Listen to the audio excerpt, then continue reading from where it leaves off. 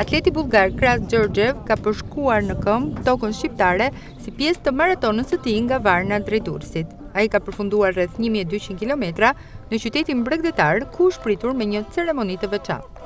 Finishi është shënuar në zonën e Sfinksit në shëtitore, ku maratonisti bullgar ka takuar kryebashkiakun e Durrësit, Vangjush Dako, ambasadorin e Bullgarisë në Shqipëri, Momçil Stojanov Rajçevski, ambasadorin bullgar në Maqedoninë e Veriut, Angel Angelov, si dhe sportistë e qytetarë. Kryebashkiaku Dako i ka uruar mirëseardhjen sportistit, duke vlerësuar iniciativën e tij.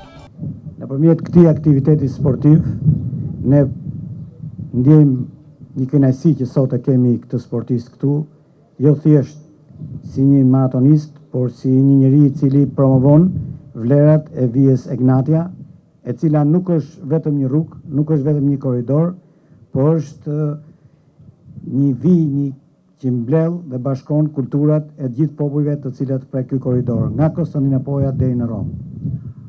Janë të shumta iniciativat tona për të promovuar këtë korridor, por ky i sotmi është i veçantë, Është një event i mrekullueshëm për të rinjtë, për brezat e rinj, të cilët e duan sportin dhe nëpërmjet sportit bëjnë të mundur që të kuptojnë edhe ç'do të thotë një korridor, ç'do të thotë një lidhje shumë e hershme historike ndërmjet shteteve tona, për të bashkuar kulturat tona të përbashkëta, për të shërbyer më mirë, për t'u futur të gjithë në të njëjtën rrugë drejt Evropës, ashtu siç e kanë bërë Bullgaria, shpresojmë ta bëjmë Maqedonia dhe Shqipëria sa më parë.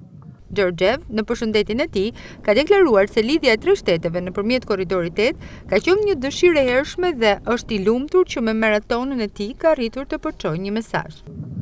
Zdravejte na vsiçki! Korridori i tetë nuk është vetëm një rrugë transporti, është rrugë e miqësisë, e lidhjes midis njerëzve. Gjatë këtyre 15 ditëve, gjatë vrapimit tim përmes Bullgarisë, Republikës së Maqedonisë së Veriut dhe Shqipërisë, u njoha me shumë njerëz, ndjeva ngrohtësinë dhe mikpritjen e të gjithë njerëzve të zakonshëm. Finishi im në Durrës nuk është fundi, por është një fillim që të gjithë ne të bashkohemi dhe t'u tregojmë edhe popujve të vendeve tona, edhe Evropës, që ne e duam këtë korridor. Jemi të bashkuar, e kur jemi të bashkuar jemi më të fortë. Edhe ambasadori bullgar në Tiranë, si dhe ai në Shkup, e kanë vlerësuar maratonën si një aktivitet që i shërben shkëmbimit të traditave dhe kulturës mes tre popujve dhe forcimit të lidhjeve mes njerëzve të vendeve tona. Maratonisti bullgar kishte marrë një shishe me ujë nga Deti i Zi për ta hedhur në detin Adriatik në Durrës, si simbol të bashkimit të dy deteve që janë në skajet e korridorit të tetë. Në çdo qytet ku ka kaluar, ai ka mbledhur firmat e kryebashkiakëve që shprehin dëshirën e përbashkët për realizimin e këtij korridori. Këtë dokument e ka firmosur edhe kryebashkiaku Dako. Dokumentet me firmat e kryebashkiakëve të qyteteve nga ku kalon Korridori tetë, janë grumbulluar në fund për t'iu dërguar prezencës së Bashkimit Europian në Tiranë nga ambasadori i Bullgarisë në vendin tonë.